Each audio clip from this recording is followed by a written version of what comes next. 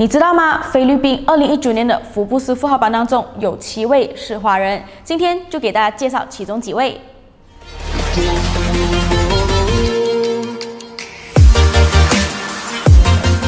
Hello，大家好，欢迎收看红狐狸频道，我是主持人 Chloe。Hello，大家好，我是 Chris。有华人地方呢，都会处处有商机，因为华人呢本来就是一个天生的一个商人，所以呢，今天我们就跟大家来介绍一下菲律宾华裔富豪的一些创业故事。首先就给大家介绍第一位呢，叫吴亦辉，他是整个菲律宾第三富有的人。他在二零一九年福布斯全球亿万富豪排行榜中就排名三百四十三位，财富总值五十一亿美元。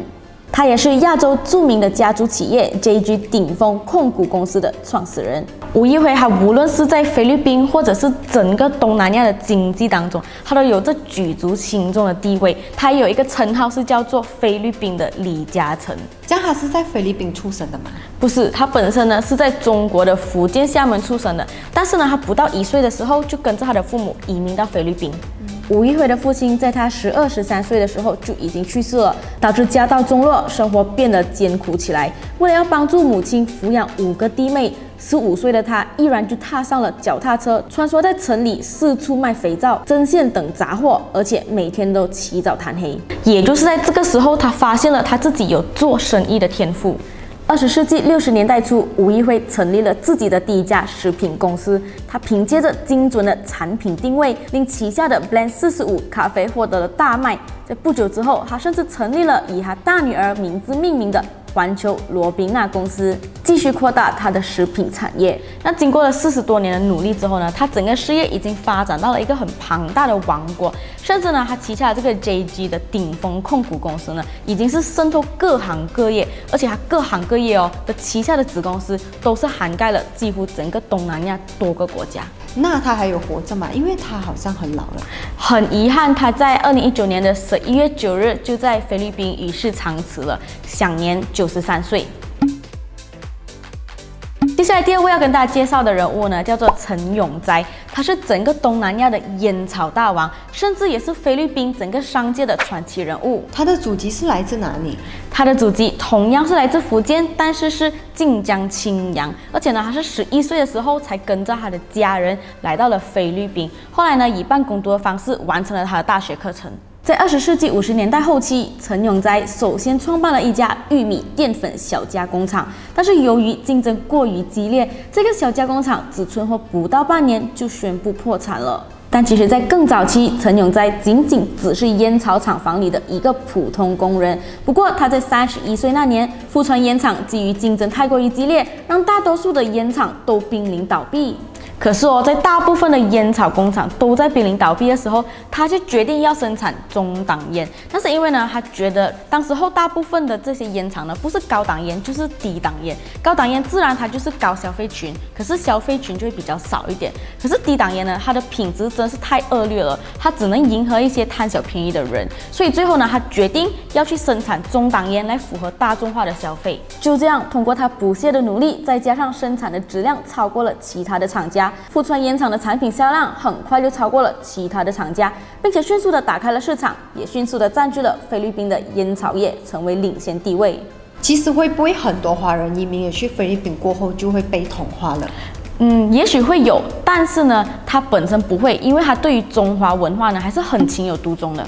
陈永斋曾经就对媒体说过：“中华文化是孕育了五千多年的文明结晶，也是世界文化宝库珍贵的财产，源自中国，却也属于全世界。”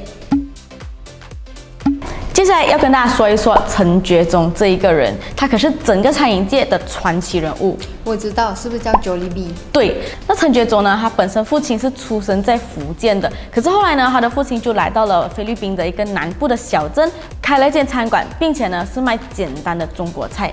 在父亲的耳濡目染之下，陈觉忠也在大学毕业之后，就和兄弟们连锁创业，开启了冰淇淋店，并且在之后拥有了六家连锁店，叫 Jollibee。那我们都知道，菲律宾呢，它是深受美国文化影响很深的一个国家，所以呢，当时候陈觉总他去买了很多的书，就为了要研究一些大牌，比如 IBM、可口可乐，到底他们的营销方式是怎么样的。在找到了这些美国老品牌的共同之处之后，就决定要一样化葫芦。陈觉忠就曾经回忆到说，当时候的他们完全都不懂得要如何去做事情，所以唯有看看这些老品牌到底是怎么投资的，他们也跟着投资就对了。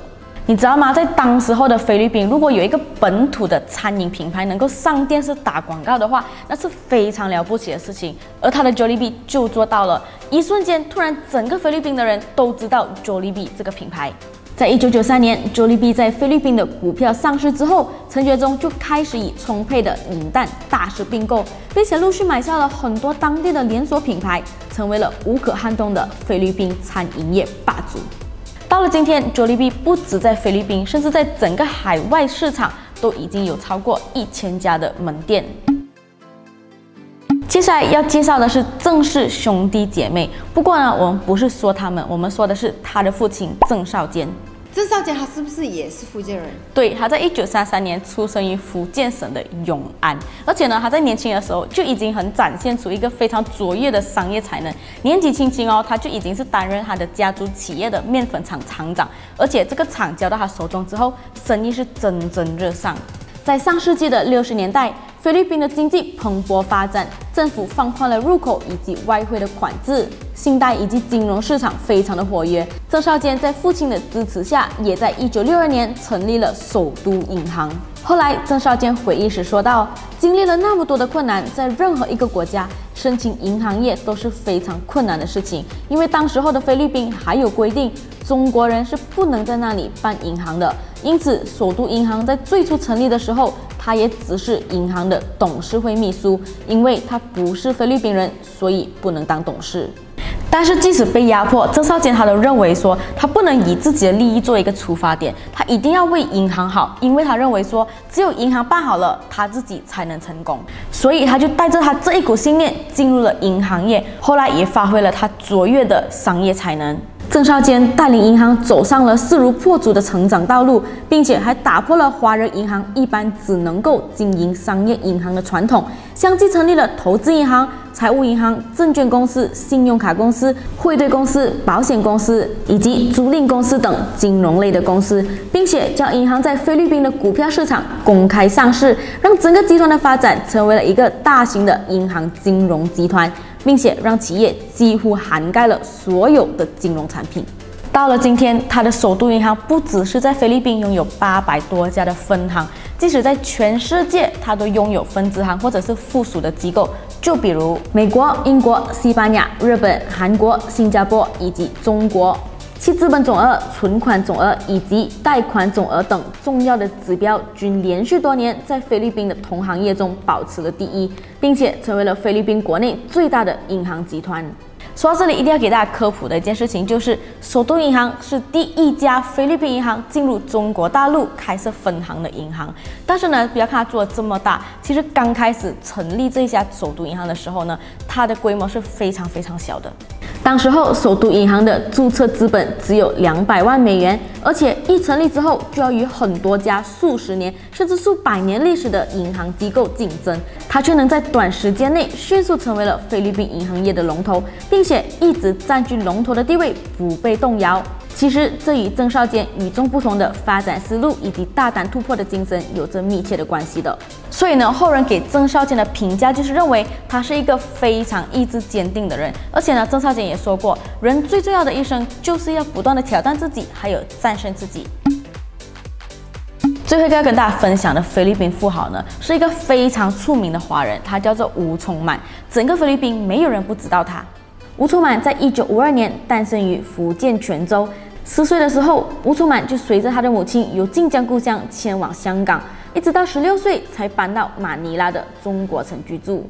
在上学的时候呢，吴楚满他也是一边做兼职一边读书的，所以那时候呢，他不只是卖过腕表，还做过家教，甚至呢，也在一家中资企业当过助理。直到他毕业那一天呢，他所有的大学费用都是靠他自己赚回来的。在还念大学的时候，他几乎每一天都要步行六千米往返的路程去上课，而且呢，在当时候，他每一天吃的午餐都只是最容易饱的香蕉而已。直到他毕业之后呢，他的父亲就希望他可以到家里附近的。一个银行上班，因为我们老一辈的人都会觉得在办公室里面上班就是有空调吹又舒服。可是吴聪满他想做的是杂货店。那时候吴聪满经常和他的母亲说，一旦攒够了钱，他就一定要做杂货买卖，来改变他家庭的经济状态。于是吴聪满最先开始做的生意就是白兰地酒生意。经过了数年的刻苦耐劳、兢兢业业的经营，吴聪满在二十七岁的时候，竟然已经获得了一百万比索的收益。